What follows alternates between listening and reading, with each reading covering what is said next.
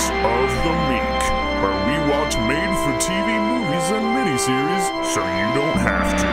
From Gia to Zenon, Hysteria to Sybil, welcome to Movies of the Meek. Um, I guess the simplest plot would be uh, there's a, a cat, a, a talking cat, and a talking dog, uh, who are also a, a detective duo, uh, and they are investigating a murder in Yeah. a small Virginia town. So it's it's called Murder She Purred, which is obviously a play off of Murder She Wrote.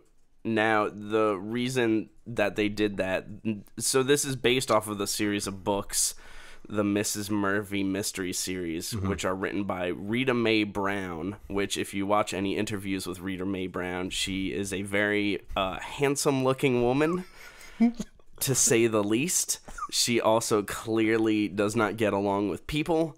And so in every interview, they're like, Do you find it more difficult to write the voices of humans or to write the voices of animals? And she's like, Well, I find it a little bit more difficult to do the voices of people because I spent so much time with my animals. You know, I was sleeping with my dogs and cats even when I was younger, and I still do.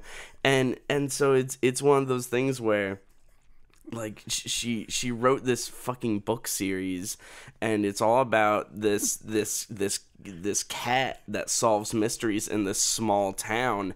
And i think when they finally decided to adapt this to the small screen uh that's when they they realized hey this is basically the exact same plot as murder she wrote. Like it's the exact same concept. It's a small town and it's this this woman that's going around and solving mysteries in this small town that has no business actually solving mysteries in this small town. She shouldn't be doing it. She shouldn't at all, okay? And and that's one of the things with this movie that I just kept going back to is I was I was just like is this the first time she's done this? Obviously, in this movie, this is the first time Yep. that she's done this. But the, the the fucking cat acts like they've solved a billion fucking Yeah, mysteries. yeah. But at the same time, this is clearly the first time it's happened because the cops are like, "Hey, you're you're uh, let's say let's go through the thing she does. she uh, obstruction of justice. She basically prevents the police from knowing all the information that they need to know. She withholds evidence. She has a fucking bullet casing and she never gives it over to the cops. And she also at one point steals, Steals- evidence. Okay? So you have all that going on. If if we already if we weren't in the pre-established world where she'd been solving mysteries, then she would just be arrested. but she doesn't get arrested because it's part of this series of 26 fucking books. Really? Okay. Wait, is this movie based off the very first book? No. Which one is this? What number in the like series? number four. Sorry, that's not even accurate. Um, it's it's not based off of any of them. It's a new story. The title is just similar to the fourth book. Because they the, the fourth or f- fifth Well, book is called on. like the fourth or fifth book is called like Murder She Pawed or something like that. So, so they made they wrote a new story and For they, television. and, they had like twenty books to use. For, Yeah. for ideas for wow. I mean, around this time they probably only had like ten. but So they, the- is but this they- like the Game of Thrones of uh of Of- like of cat of, fiction. pet of pet detective books? Sure. You know, and, and when I was first watching it, you know, I was watching it with an open mind, and I I, I, originally, you know, was enjoying the fact that they had a little meta commentary while Ricki Lake is in bed. This movie stars Ricki Lake, by the way. Yeah. And there's this little meta commentary where Ricki Lake is reading one of these kinds of novels. She's reading like the equivalent of a Dick Francis novel, you know, in bed. Mm-hmm. And Mrs. Murphy is like, I abhor those kinds of novels. They're always so predictable. and it's like, fuck you, you I fucking. Okay. I hate the fucking pets in this movie. I hate every voiced pet in this movie. What about um livestock or um when there are wild animals? Did you like the fox that I- sounded like I Larry the did- Cable Guy? I did not like the fox. I did appreciate the German German shepherds. they were super racist. How did you like them? I liked how they were German. They, Oh, I they thought it was quoted, clever. They quoted Arnold Schwarzenegger, and he's Austrian. He's not German. I'll be back, shorty. It was like super lazy, but That's super lazy. but I thought it was like funny. the other thing that happens in this movie that's super racist. So let's go through the plot a little bit. so, um, Ricki Lake has a new neighbor moving in, and uh, Mrs. Murphy sees basically a person being threatened for their life. And Mrs. Murphy thinks that it's the new neighbor that is doing this. Ricki Lake then meets the neighbor. Everyone thinks the neighbor's a suspect. Ricki Lake thinks that it's him. Uh, Then you know, she's like, "What is this guy's deal? He was threatening this guy. I think it was him that was there last night, threatening that guy." Um, and then, Um, and then that guy does actually get murdered. They find his body in a car, which is my favorite scene ever. I was just showing you. Oh. There's a sequence They're where where it doesn't sound like English. It sounds like random words combined in a southern drawl that the woman never uses the entire rest of the movie. fun, ma'am. You hooked the BMW. Or before that, it's just that one four second clip. Um, but during that entire sequence, you know, all, spoilers for this shitty movie. Um, that entire sequence, I knew the entire time he wasn't the killer. Sam. Okay.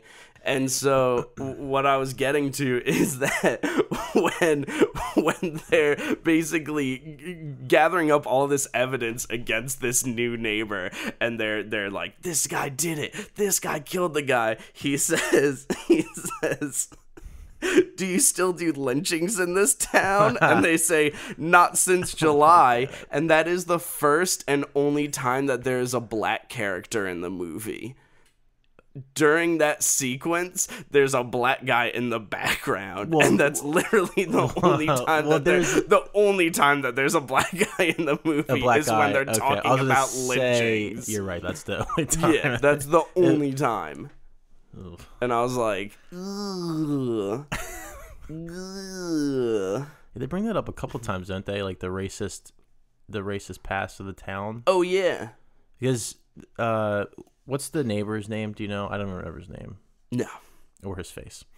Um, by the way, this movie is uh very poor quality on YouTube, and I and it appeared like when I was watching the movie, it was as if like I had taken my glasses off, like I couldn't see anybody until they got very close to the camera. But uh, um. I think they have like a little conversation with Harry and, and her neighbor at the beginning of the movie because he's taking down the Fox Den like Yes. sign. Okay. He he decides that he's gonna change the name of the Fox Den, and she goes. 200 years of tradition you're just gonna throw that out the window and then the next day he was like by the way slavery is tradition too Yeah, yeah. yeah. i think that's what you're thinking But of. he keeps the name though at the end. Um, yeah, and, and so Ricki Lake starts thinking that he's a serial killer because when she is at his house, and I loved this, when she's at his house, she's kind of moseying around, being all super sneaky, and Ricki Lake ends up finding finding this box of books, and all the books are about serial killers, and Mrs. Murphy says, um, those are how-to guides for serial killers. She has the accent of a wonderful Southern belle, by the way. Um, and and so my favorite part about that is that Ricki Lake is the one that says, "Oh, you're a criminal psychologist," and he never says yes. He's very vague about his his profession as a doctor. but that turns out to be what it is. Yeah, yeah. But that's like, I just love the fact that she's just like, "Why do you have these books? What are you, a criminal psychologist?" And he's like, "Well, you know, I I, I gave up my practice." And she's just like, "So you you also like crimes too? I'm a huge fan of these terrible detective novels that we're living in. Um, you know, we're we're obviously the same. Like we should make out." And then just as the movie continues, she just keeps talking to him about being a criminal psychologist, and it's like he never said yes. Yeah, he never said yeah. he's a criminal psychologist, but you're just saying that he is, and She is the he worst, is? worst detective. She's terrible.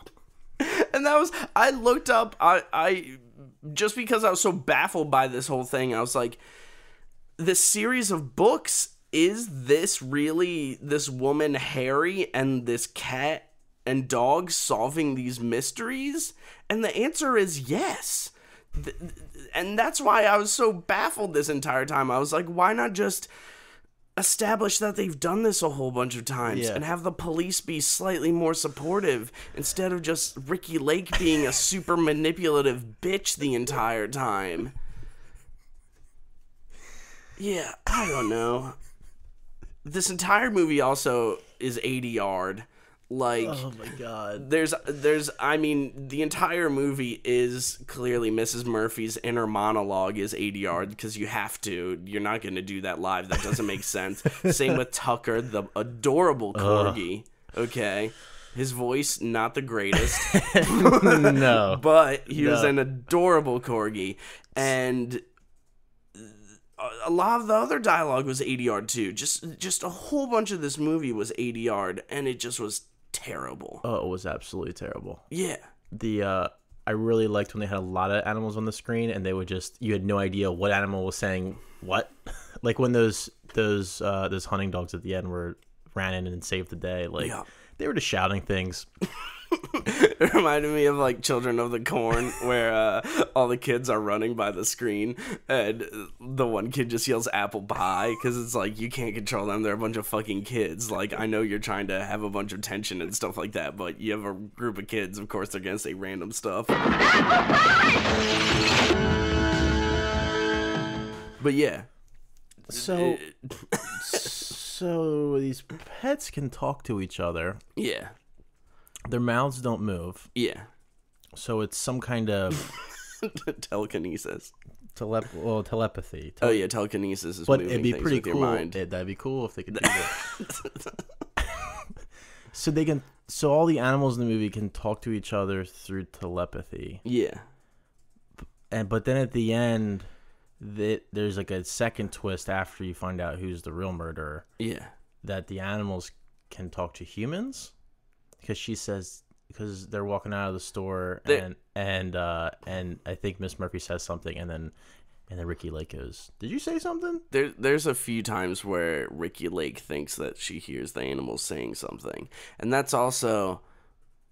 There's so many times in this movie where Ricki Lake is just super creepy for having these pets with her all the time. The pets follow her around everywhere.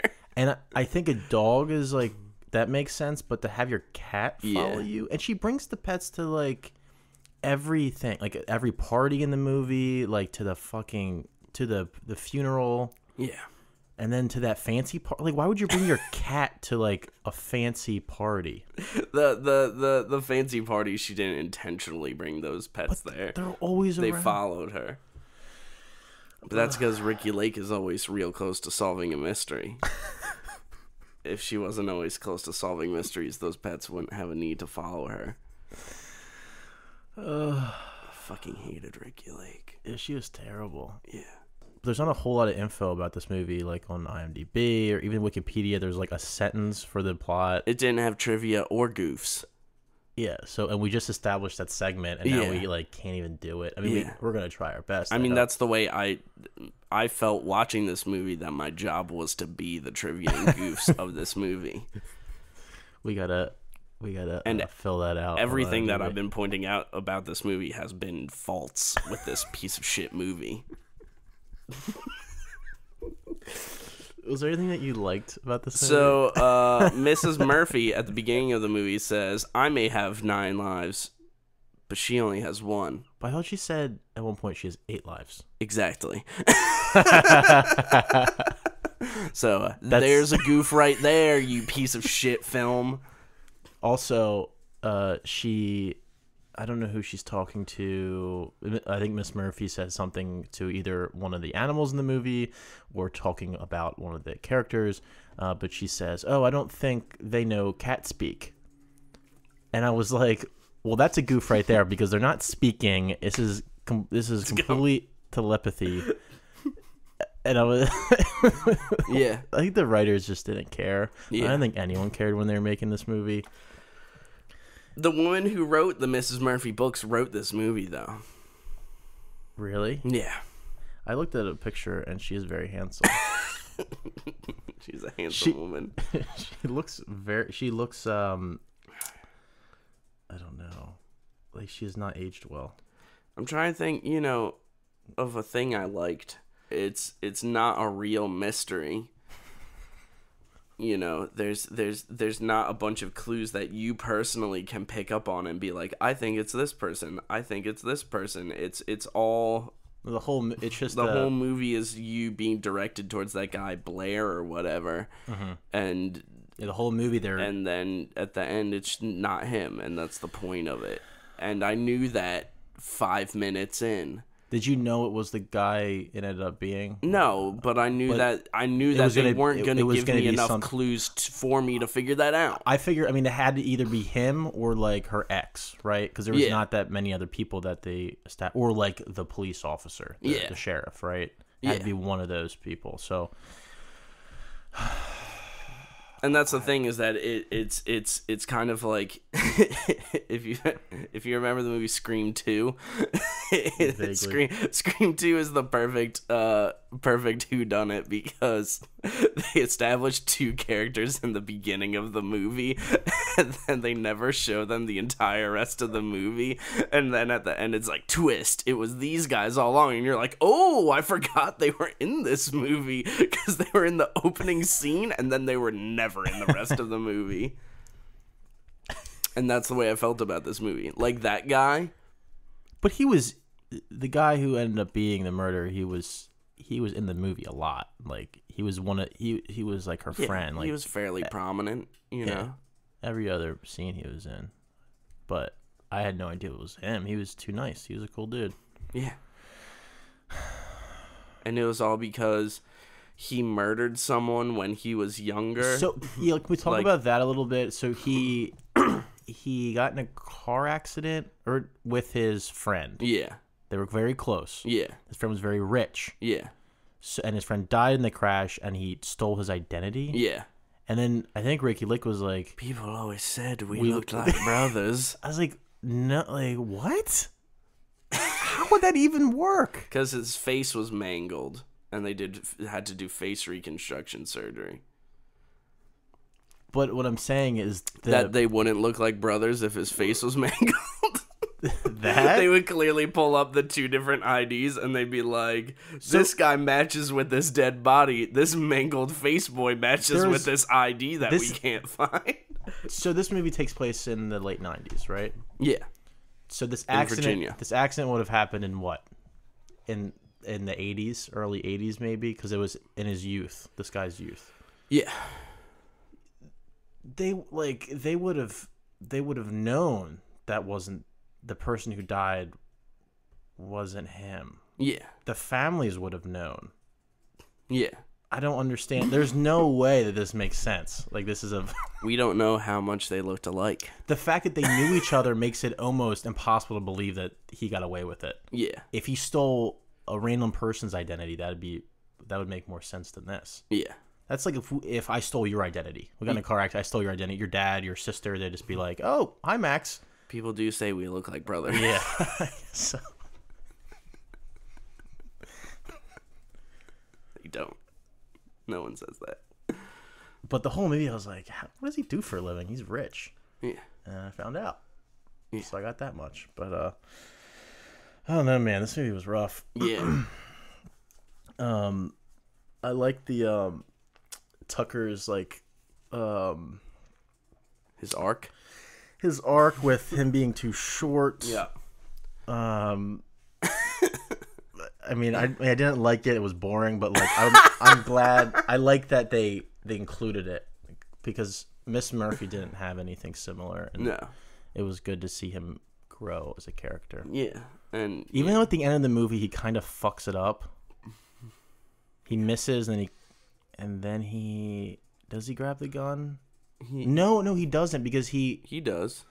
he He fails the first time, and then the second c- time he goes, "You can do it," and then he, he bites the hand, but Yeah. the, the dogs behind him are the ones that really take down the dude. Well, yeah, but he he he knocks the hand out of the way so that the bullet shot goes into a wall as opposed to inside of people. But I feel like the act of him biting the guy's hand is what set the gun off to begin with. Like he could have easily killed Ricki Lake in that.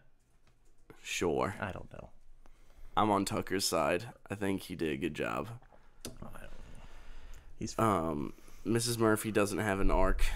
She's just killing it the whole time. Ricki Lake's arc is that she's she goes from a frumpy, disgusting woman to a frumpy, disgusting woman with a boyfriend who she kisses one time. she is she is pretty frumpy. She her fucking outfits are like the fucking worst.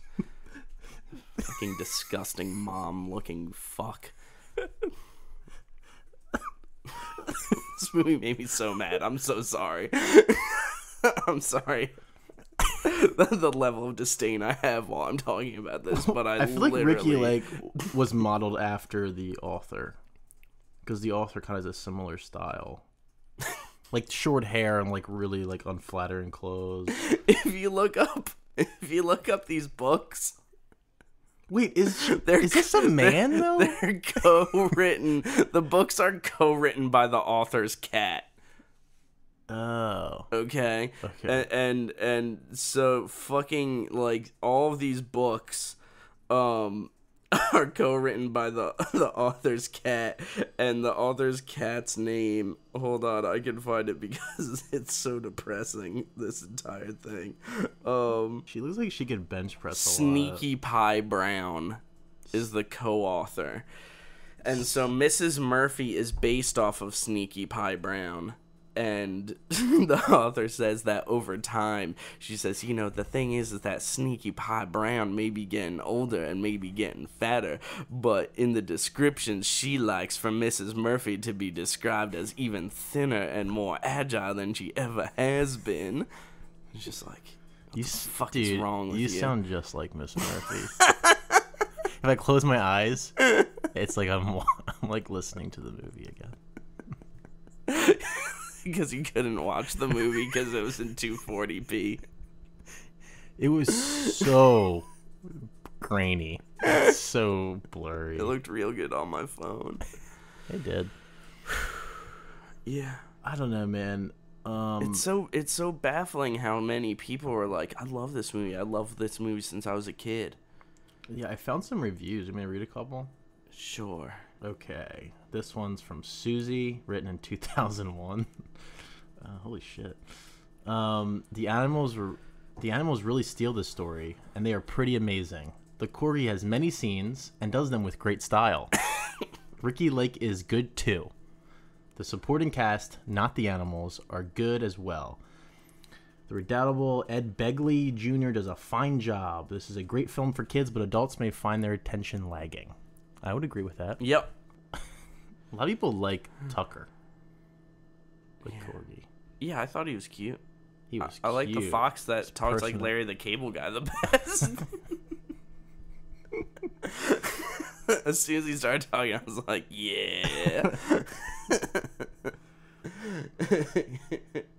Can you tell us any info? Down, down, down, down, down, down, down there. I was like, "No, that's a good fox." Whoa, hold on a second. One could say this film was for the birds by Helpless Dancer. It was this was from 2001. This picture left me longing for a nice hot bowl of special kitty. Not a bad little movie, but probably more geared for the young set. The animals were so cute and just so smart as they were solving a murder that even the police were having a problem with. The one big thing that kept this from being Academy Award winner, in my humble opinion, was sexy Tom Jones singing What's New Pussycat. I can just hear old Tom's robust platinum throated vocal cords warbling and moaning out those treasured lyrics. What's new, pussycat? Whoa, whoa, whoa, whoa, whoa. What's new, pussycat? These people are fucking crazy. what site are you on? This is IMDb reviews. There's like I love IMDb. there's like 20 of them, and they're all from like two, like early 2000s. Um, What's our next? Next week Project. we will be doing the Houdini mini series. Are we- Which will be our first mini series. It's three hours long, and it's starring Adrien Brody, an excellent actor. Are we doing an episode? We're doing both parts in one episode. Whoa! Yeah, All right, it's the way to do it. all right, I'm down. It's so good. I've seen an hour of it. Is it like bad? It's so bad. really? oh no! Uh-uh. It's so good. Is this gonna be like a really bad prestige? It's kind of like a really bad prestige. I love it. That's that should be the title of the episode. it's like a really bad prestige.